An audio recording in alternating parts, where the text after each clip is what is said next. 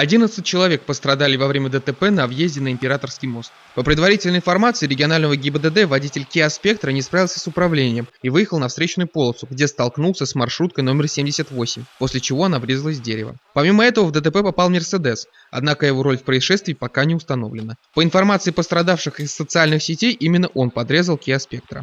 По предварительной информации, водитель мужчина 86 -го года рождения управляя автомобилем Kia Spectra, не справился с управлением, допустил выезд на полосу, предназначенную для встречного движения, и совершил столкновение с движущимся во встречном направлении прямо автомобилем Луидор.